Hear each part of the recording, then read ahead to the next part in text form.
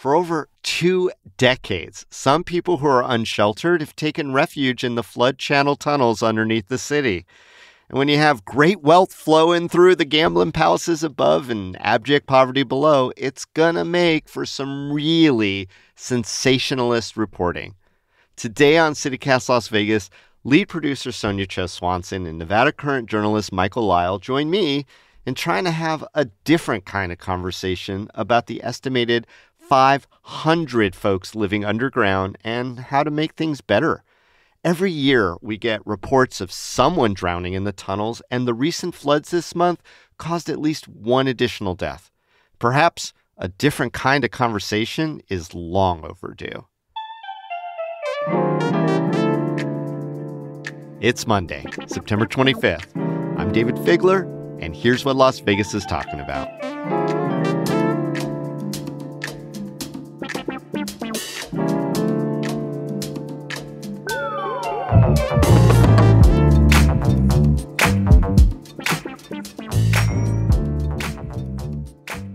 MJ Lyle, the Nevada Current and lead producer of CityCast Las Vegas, Sonja Cho Swanson. Welcome to CityCast Las Vegas. Hey, hey, thanks, Dayvid. Thanks for having me. Good to be back. I like this crew. We always have very thoughtful conversations. And today we're going to talk about something that a lot of people seem to talk about. Let's just start off. MJ, why do you think the tunnels under Las Vegas have captured America's imagination? That is a question that I always think about, especially when we see local and importantly, national and international stories at least once or twice a year that focus on the tunnels. And I don't have a definitive answer. I think part of it is I think we're a- a- attracted somewhat as a society to some of these stories that are a little bit of tragedy porn, if you will, of like some of the stories that show like the Oh. seedy side of things, which is why we're like attracted to like murder podcasts and attracted to some of these Right. like these stories that Outsider groups. And Ex- is there anything yeah. more outsider than undergrounders? Yeah, and I can't help but wonder too. I think people have a a depiction of what homelessness is, and this this almost acts as a form of confirmation bias of like this is what people already assume what homelessness is mm. Is the Mm. true face of homelessness, and so reading that story kind of confirms what they already think they know about it. Yeah. I think it's like a fascination with almost like a post apocalyptic survival story. You know, it's kind of like the question of like, that's central to Lord of the Flies, right? Where all those little boys are on the island. And it's like, what would happen if the rules of society were gone? What would humanity be like? So it's like fundamentally, what is human nature without the rule of law, right? Yeah, Is it Mad Max under Las Vegas? yes. Yeah. Yeah. Right. I mean, we already get all this attention just because we're Las Vegas, which is already weird to most people who don't live here, right? Yeah. All the people looking in are like, Las Vegas, and they all have their ideas, whatever it is, usually not positive. Hmm. And then, you know, this juxtaposition and above the glitz and glamour. Oh, always. Oh my always. god, always the glitz and glamour. Oh, I hate it. I hate that trope. Don't Is forget the neon. right? What happens in Las Vegas stays in Las Vegas. But if you're one of the unfortunate who live underneath the city, you know, that sort of crap. Oh, we've seen it all. But I am, I mean, to be fair, I am actually kind of curious because I feel like I have read these bylines, but I don't know that I've learned very much about tunnel life. How is tunnel life different, you know, for unsheltered folks than other above ground options? from talking to folks that have lived underground and talking to folks that do outreach in that community, it seems like this is a population that has been unhoused for a prolonged period of time. These are Mm. people that are deemed chronically homeless, that they've tried the shelter life and they, it's not for them. They've tried accessing services and have been burned by services sometimes, Hmm. have been tr- reached out to resources before and just have not gotten what they needed. Uh, and so have not only just retreated to encampments, but retreated underground away from even main encampment life and, and the deserts where you see tents and uh, uh, structures develop. They've kind of gone underground into a community that just kind of away from the things that have let them down. Hmm. What does it look like? I mean, I, I don't know about y'all. I actually have not been inside any of the tunnels, even though in high school it was definitely like a, a cool kid thing to do was to go explore the tunnels. Or a dare. or a dare, right? But what would I see if I walked into a tunnel where where unsheltered folks are living? There are structures actually inside these tunnels. Like many of the unhoused folks have built actual little communities, whether it's actually drilling in structures into the the walls and Whoa. having four walls that you train, chain off so no one can get in to having AC units and fridges and king size mattresses. Hey, how are they getting electricity? You said AC units? Yeah. So I was talking to, I was doing some outreach for a recent story that I was working on, and it was uh, Help Southern Nevada was doing outreach outside of the uh, New Orleans tunnel, and I was talking to one of the workers, and he was saying saying that he once met or saw solar panels outside the tunnels, and they people were connecting it inside to get some power. I, I haven't seen that, but that's what he told me like wow. that exists. And so um. I think it is resourceful. I mean, these are people that have lived on the streets for so long that they are resourceful. They know how to survive. It's not beyond imagination to be able to, you know, redirect or hijack electricity or even have, you know, generators and, you know, be out um, in a very Mad Max way, and not to be pejorative anyway, but you know, salvaging uh, gasoline where you could find it and bringing it down and, and keeping power going that way. I mean, I've seen lights and uh, other site specific amenities that yeah. you know keep people not just off the grid but out of sight off the grid right yeah. i mean mm-hmm. that's seems to be the giant allure of of being in the the tunnels as a i don't know an option when you're in that desperation status mm-hmm. you know mj there have been people who have been extended residents down in the tunnel area you know over the past 20, 30 years, to my knowledge. Are, are, there characteristics of some of the communities down there? I mean, can you generalize a little bit what life is like down there? I think it's just what life is like up here. People do make friendships with with just the other people in, in those in those tunnels, and they have a, a community. I also I say this, and I know that people are gonna gasp, be like, "Oh, how dare they?" But like, I see a lot of people that have their pets too and they are such loving pet parents and so that's why i'm hesitant because people will probably think oh my gosh you have a dog in the tunnel. Like yeah they take care of that. They're what's one of their their children too and so i think that's the same community exists there that exists anywhere else. I think that's just a common misconception that we of homelessness in general and those people that choose tunnel life is that they're somehow different or more nefarious or more darker or like reserved. Yeah, you do have some reserved people. That's with every type of homeless encampment that you see. But like, there are people that are part of communities that are with a couple other people, sometimes a significant other, uh, which is a, probably a reason also why they don't go into shelter space because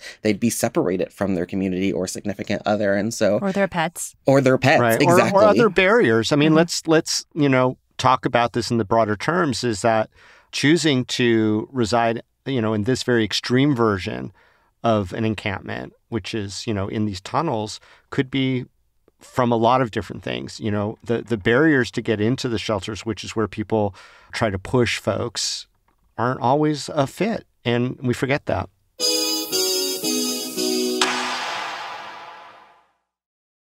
This is probably an obvious question, but what what are the specific dangers that people are facing in the, in the tunnels if they do stay down there? What are they looking at?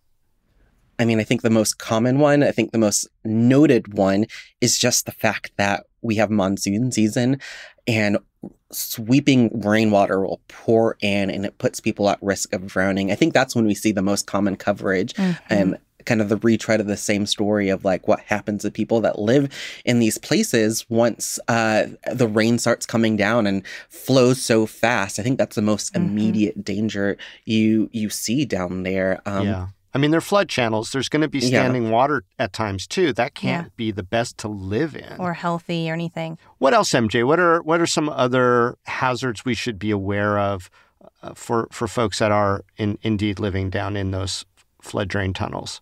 I actually want to take a step back and to talk about their perception too. There's a lot of people that, even though we have perceived hazards, obviously floodwaters and like safety issues, people live there perceive that as a safer alternative to shelters, to dorm congregate style shelter spaces. And so mm. when we say, what are the safety issues?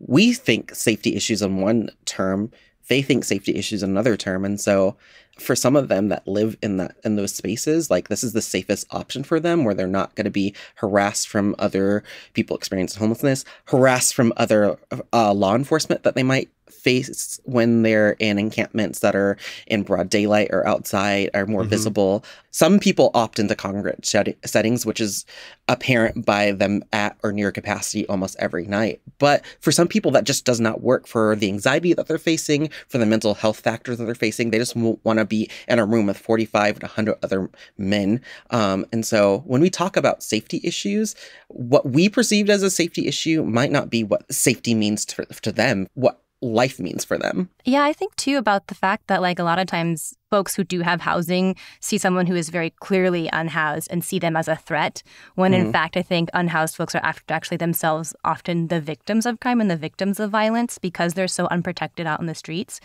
But I have to also say I've actually heard stories like it's probably like an urban legend, but hearing about like the tunnel serial killer who was a- attacking unhoused folks who live in the tunnels. I mean, it seems like they, there's less eyes on the tunnels and they might be more vulnerable in some ways down there. You know, you're right. There there has been for a long time an urban legend of a tunnel serial killer.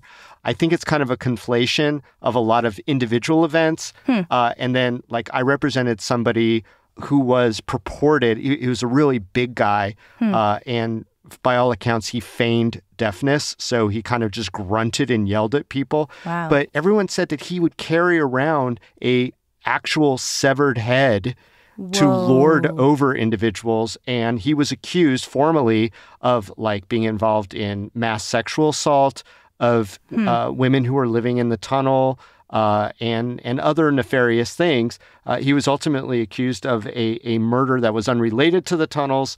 Long, long story. But his looming presence down in the tunnels for a long time was part of that mythology or myth building that hmm. made the urban legend and that's that's how urban legends start there's always some grain of truth right. or different parts of a story that come together so yeah I, I, mean not not without its intrigue not without its factual basis in some level but you know again because it is so off of our grid so out of our mental comprehension for those of us who are you know inside people mm-hmm. it's seemingly really, really bad. And hmm. I, I think that fuels some of the conversations about it too. So obviously there are safety concerns and the story that you you highlighted is a real fact a real story that is something that happened of of a person that was unhoused that was clearly unsafe but like data wise we don't really see that but yeah in our minds, that's our perception of what unhoused people are like. And it can't, I can't help but think of the death of Jordan Neely in New York City.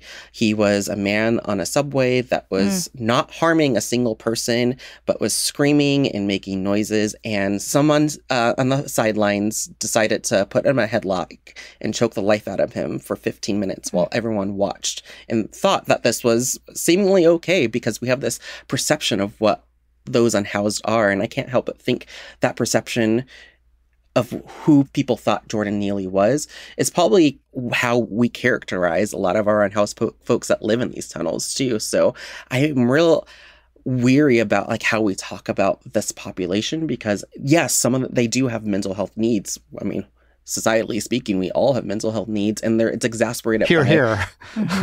it's exasperated yeah. by just being unhoused. But like, yeah. yeah. I feel that when we talk about like the dangers and like the our perception of what unhoused folks in these tunnels might be like, we risk of uh, creating a monster that's, that's just not there.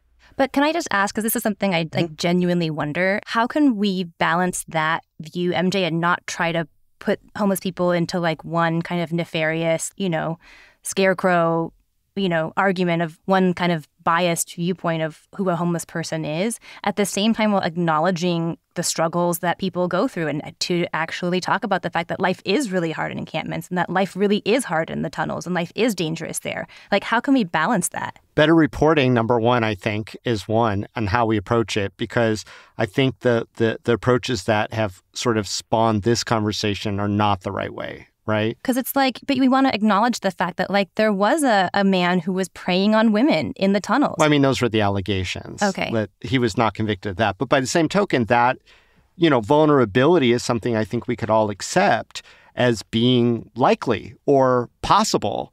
uh, whether it was my client or, or you know someone else or in the future. And that vulnerability that you speak of that exists and that exists everywhere in society, in in particular, but it exists among unhoused, whether they're in the tunnels, whether mm. in shelter spaces, whether in encampments, whether in transitional housing folks. I think that vulnerability doesn't go away or isn't like uh, it might change in the tunnel life, but I think that vulnerability, to Dayvid's point, there's not a lot of reporting about that vulnerability and like a lot of nuance around it. That yes, you have perpetrators of violence, but you also have victims that are also trying to survive. And part of that escape into the tunnel space is that survival mechanism because victimization has happened on the surface level. Let's just assume that you you aren't going to get everyone to leave the tunnels. They're going to stay down there. It, is there another approach that's more like harm reduction? And what would that look like? Because you still have that flooding thing. That's a fascinating question. I don't even know how to approach that response. On one hand, yeah, you're right. We it is a physical hazard to people to be there in a place that could literally end their lives because of just un- unforeseen monsoon seasons and rain sweeping them away. But to your question about harm reduction, I think we need to have better conversation about what it means for them to survive. Many of the people down there have been explicit about what they would like and what they need to actually uh, embrace shelter or embrace housing. Um, I don't know if we've taken a lot of their concerns into consideration, even though they keep saying it over and over again, even though uh, those are helping them keep saying this is what they need and this is why they're not entering shelter. And so maybe we do need to have a more robust conversation. Some cities have experimented with encampments in general, like having designated encampment space. I think Portland looked at doing a designated encampment space. So maybe we can't have obviously people staying in these public ways, but we have people that aren't ready to go into shelters or just want to be let alone. What would mm-hmm. it look mm-hmm. like? What would harm reduction look like if we as this county discuss designated camping spots for them just to set up and have their own life? We don't have these robust conversations, and it goes back to the retread of the same stories over and over again honestly, I love thinking about harm reduction. I love that you brought that up, Dayvid, because one of the things that people going to the tunnels shows me is that we have a real lack of shade, right? Isn't that one of the big draws of the tunnels? Is the cooler temperatures and like the actual shade that you get from the blazing sun. So if we did have MJ, like you were suggesting, like a you know, some kind of designated encampment like Portland has, I think a huge part of that has to be protection from the sun. It's just one of the most brutal parts of living outdoors in Las Vegas. Which is one of my major criticisms of the courtyard downtown is it does doesn't have walls. Also prone to flooding. also prone to is it really?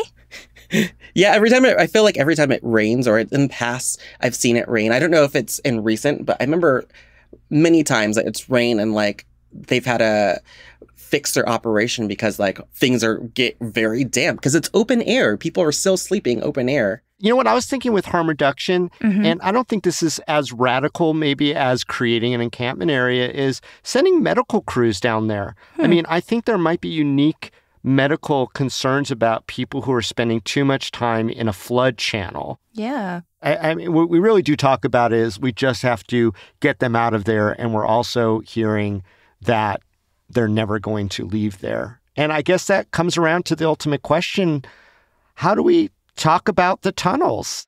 Yeah. If I see one more article where they're called mole people, which just is is sickening to me to to even use that term, because uh, it's so dehumanizing. Uh, what do we do? How do we change the language, the narrative, the media coverage? When I see coverage, I'll oftentimes I see the quotes of like, don't come back. We don't want you here. I don't see anyone answer the question, answer the question, well, where are they supposed to go? We are exploding in our homelessness. We're in a full fledged homeless crisis. Our numbers are growing year after year. Um, we don't have adequate shelter space. We don't have this the type of shelter space that people actually want and need we could clear out all the hunter shelters right now, we would still have a giant homeless problem because people are waiting months, if not years, on housing assessment lists, waiting for their number to come up so they can be properly housed. Like I said, I was at the New Orleans Tunnel outreach recently, and people were doing housing assessments, but one man I, I spoke with did his housing assessment, won't have anything for at least three months. If we're not building the type of uh, resources that actually they would want to utilize, we're hitting a dead end a dead end by saying like you can't stay here. So more media coverage that actually focuses on what the root of the problem is rather than the symptoms of the problem. I mean, I'm always about talking about root and systemic, Hey. systemic causes, though. Yeah, you know me. That's why we love you, MJ. I think asking also to the folks why tunnels versus above ground from your perspective.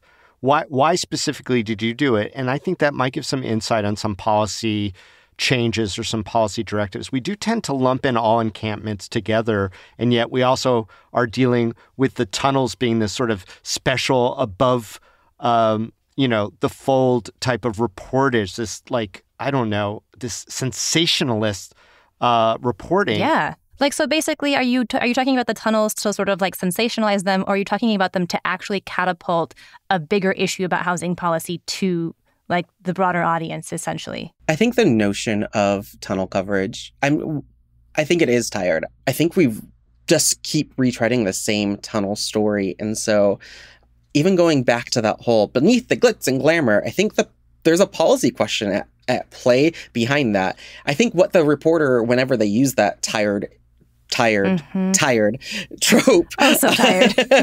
tired, tired, tired trope. Um, I think what they're trying to get at too is why in a place with such wealth do we have a place of such despair? But they don't really get there in their story by talking Mm. about the tax policies and structures and revenue structures of the casinos and Mm. what they pay in taxes. That's a better Oof. story than like what we actually are talking about, but we just don't get there. Yeah, I mean, see also education, mental health, affordable housing, medical care.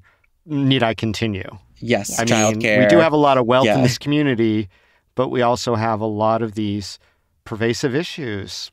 And the tunnels are part of that conversation. And so I'm glad that we had a thoughtful conversation about the tunnels, calling out maybe some that's not Yeah. as much. And stop using the word mole people, folks. Stop using Yes. the phrase mole people. Yeah, it's not good for anyone or anything. No. MJ Lyle, Sonja Cho Swanson, thanks for another like remarkably thoughtful conversation. Thanks, Dayvid. Thank you.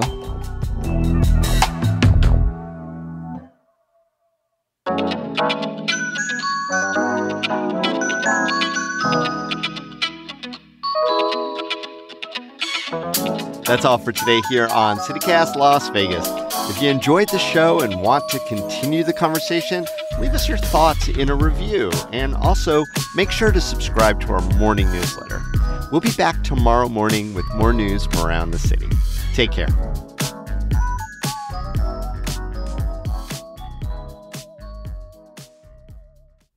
I'm frozen?